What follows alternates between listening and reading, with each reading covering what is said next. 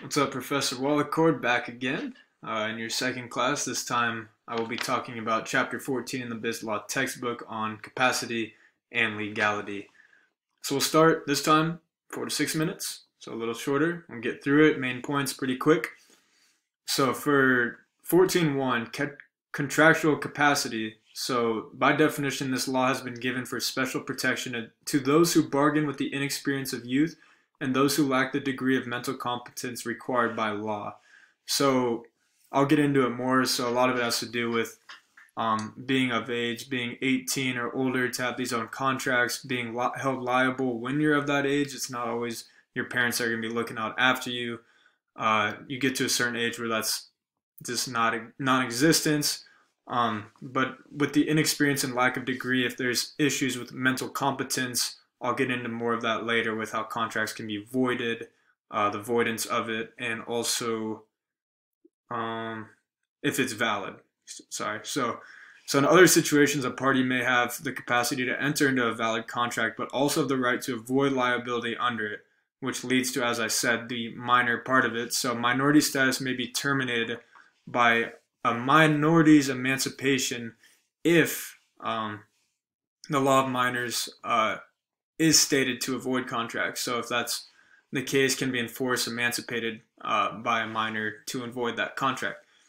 And then that leads to disaffirmance, which is a big key word in this chapter, which is the legal avoidance or setting aside of a contractual obligation. So minors pretty much have to state their intent through words and actions and uh, uh, con through conduct. You can't like sugarcoat over it.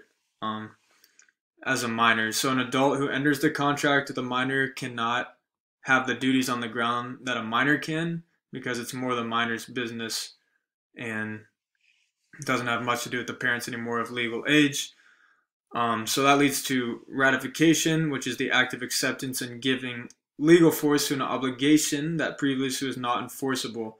So, example would be law and rule, say breaking or following, you can't be given a certain stature if you're following the law a certain way, if you're breaking it a certain way, um, and if it's deemed legal or illegal based on the capacity and contractual capacity of it.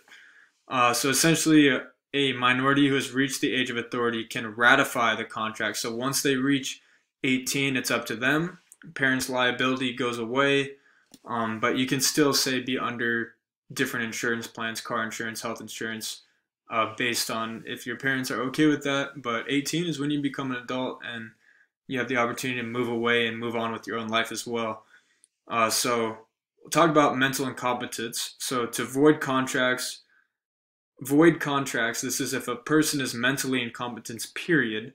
Uh, voidable contracts can happen when a person is mentally incompetent at the time that the contract was formed and lastly, uh, it is valid if at the time the person was mentally competent when the contract was formed. So it's really all about the forming of the contract, the signing of it, the reading over it, uh, which is deemed important more so than anything. So that is a lot to do with contractual capacity. And just the brief, so I'm at 340, talk two and a half minutes about legality. So legality for a contract to be valid and enforceable must be formed for a legal purpose. So you can't just form a contract that leads to nowhere. There has to be an actual purpose to it. Otherwise, the courts and everything else won't take it seriously. Uh, any contract to commit a crime is a violation of statute. So any crime, this could be something as I shouldn't say simple, something as in selling drugs, which is a crime that's deemed illegal and it's a violation of the statute. Uh, usury, uh, different charges for transactions, gambling is another issue, which is a creation of risk for your own property and your own mental state as well. So that has a lot to do with the mental competence and incompetence. If you're there, you're not there. Uh, so different examples of professions, like you have to be, say, a teacher in schooling, a doctor, so on, so on and so forth for professions to uh, be deemed credible there.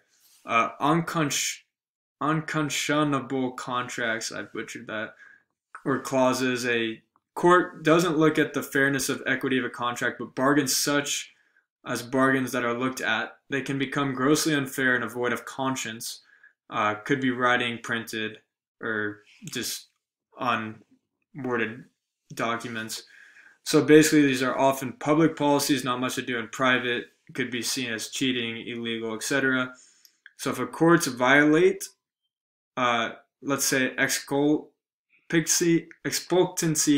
clauses. Sorry, I'm terrible with my wording.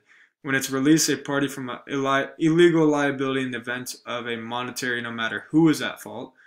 Uh, so that's misconducts, can be fraud, there's bad influencers. Got 30 seconds. I got this. Effective illegality is also an issue here. An illegal contract is void, then the court will not aid it. Uh, property, both are equally at fault. Includes justifiable ignorance of the facts, members of protected classes, and withdrawal from an illegal agreement. And so, lastly, with an indivisible contract, complete performance by each party is essential. If it's divisible, a court may enforce the legal portion, but not the illegal one.